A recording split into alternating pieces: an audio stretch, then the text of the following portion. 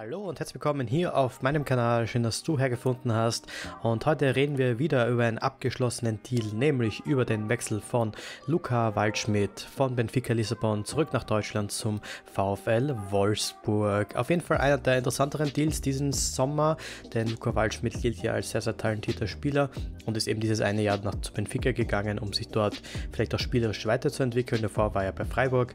Und lass uns mal über diesen Deal reden und was er vielleicht auch für die Bundesliga alles bedeuten kann. Viel Spaß mit diesem Video. Also der VfL Wolfsburg hat es nur auf ihrer offiziellen Twitter-Page oder generell auf den Webseiten bekannt gegeben, dass Luca Waldschmidt ab sofort ein Spieler von den Wölfen ist und in Zukunft dieses hellgrüne Trikot anhaben wird und äh, die Wölfe dahingehend auch im Sturm verstärken wird. Der Deal soll laut Benfica Lissabon so um die 12 Millionen Euro betragen, also 3 Millionen unter seinem Marktwert.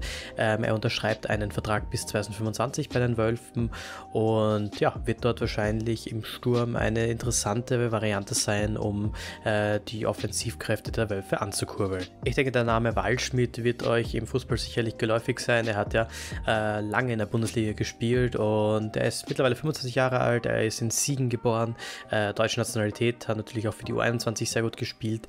Ähm, Hauptposition ist im Sturm, hängende Spitze Mittelstürmer, also mehr hinter den ähm, eigentlichen etatmäßigen äh, Mittelstürmern. Also er schaut, dass er sich den Ball holt und mit seinem linken Fuß den Ball auch dann verarbeitet. Wie gesagt, sein starker Fuß ist der linke und der ist wirklich stark. Ähm, und sein aktueller Marktwert beträgt, wie vorher erwähnt, 15 Millionen Euro. Waldschmidt kommt aus der Jugend von Eintracht Frankfurt und ist dann 2016 damals zum HSV gewechselt für eine Ablösung von 1,3 Millionen. Vom HSV nach zwei Jahren ist er dann zu Freiburg gekommen, wo er dann wirklich aufgeblüht ist unter dem Trainer Christian Streich, der ihn auch wirklich gefördert hat.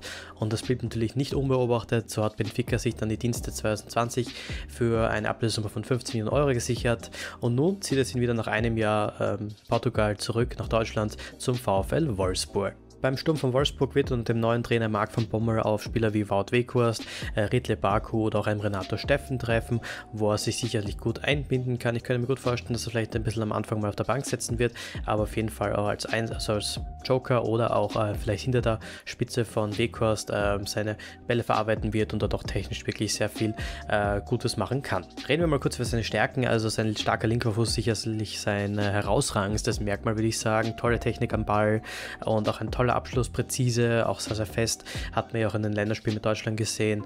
Ähm, er hat diese Technik auch am Ball sicher weiterentwickelt in Portugal. Sind dafür bekannt, dass sie ihre Spieler immer technisch sehr versiert ausbilden. Außerdem ist er sehr agil und wendig. Er ist nicht der Größte. Er ist, wie gesagt, ein äh, Spieler, der eher ähm, versucht, an dir vorbeizutrippeln, anstatt dich jetzt physisch irgendwie wegzudrängen. Also jemand, der sehr kreativ spielen kann und äh, darf sich Wolfsburg und Marc von Bommel auf jeden Fall auf einen sehr kreativen Spieler freuen.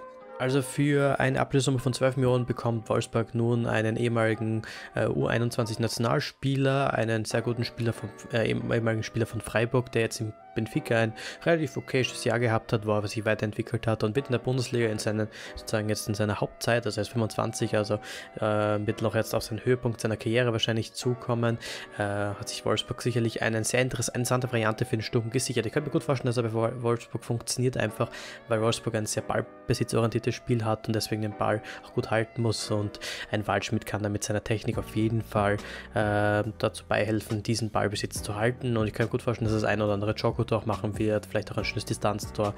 Aber da wird man sich in Wolfsburg auf jeden Fall auf diesen jungen Mann freuen können. Was ist nun eure Meinung zu diesem Deal? Was sagen die Leute, die ihn schon vielleicht bei Freiburg beobachtet haben beim HSV?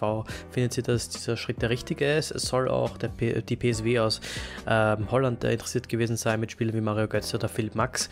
Aber er hat sich schlussendlich für Wolfsburg entschieden. Was sagt ihr dazu? Schreibt eure Meinung gerne in die Kommentare. Würde mich sehr freuen, äh, mit euch darüber dis zu diskutieren, ob er eine neue Bereicherung für Wolfsburg ist oder ob es vielleicht doch sensibel wäre, das Geld woanders reinzustecken.